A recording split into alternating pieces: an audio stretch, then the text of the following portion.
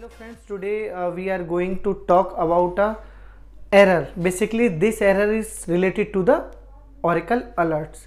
Most of the time whenever you are creating an oracle alert then you are facing an error. The error is what?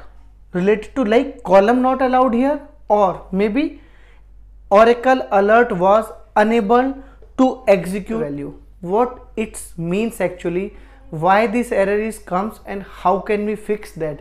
In the today session basically focusing on that actually. And before starting to our lab i am giving you just little bit overview regarding this error why this error is comes.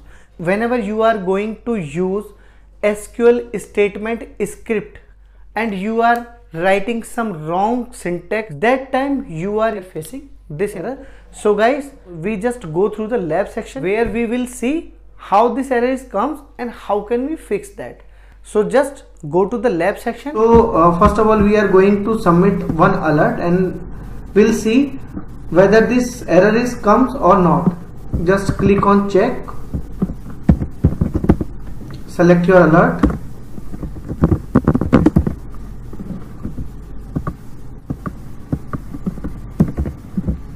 Just submit this alert so here you can see my alert is successfully submitted. I just find out.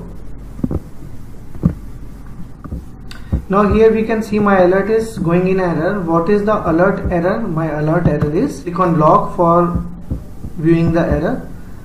My alert error is like column not allowed here.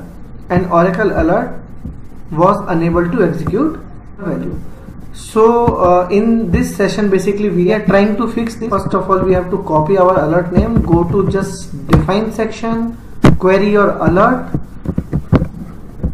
and simply go to action where we can define our SQL statement script. What we done wrong here? We are trying to use our out variables or out parameters here but we are not defining these variables inside the single quotes.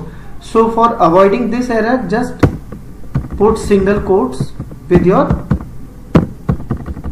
variables.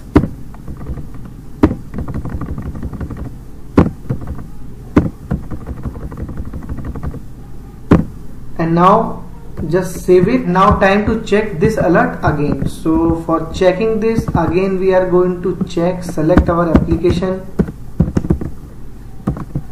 Type your alert and just submit my alert is successfully submit and now we can see in the request window. Here we can see my alert is successfully completed my dear friends. There is no error comes again. So this is a way how can we fix this alert or this error? So my dear friends hope so you are enjoying the lab and you understand why this error is comes how can we resolve it so uh, if this video is increase little bit information and little bit knowledge in your knowledge database so guys don't forget to share like and comment on this video